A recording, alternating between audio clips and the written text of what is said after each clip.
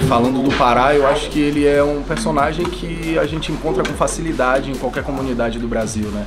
E eu que vim de comunidade, vivi um pouco de perto essa realidade, né? É, sei como como esse personagem é comum e o poder representativo mesmo que ele tem, porque ninguém nasce bandido, né? A gente, tipo, sabe que a sociedade vem formando essas pessoas. Então, pra mim é, é de uma puta responsabilidade também estar tá fazendo parar, porque eu tô dando voz a um personagem que existe, né? E existe em milhares de formas. Então, tô tentando trazer essa humanidade mesmo para ele, de mostrar que ele era um moleque comum, era um moleque de comunidade como outro qualquer e que a vida e, e algumas adversidades da vida foram trazendo ele para esse caminho, né? Então, assim, para mim é um presente estar tá podendo representar o Pará e tá podendo dialogar diretamente com as comunidades brasileiras, que é o lugar de onde eu venho também, né? Então, para é isso.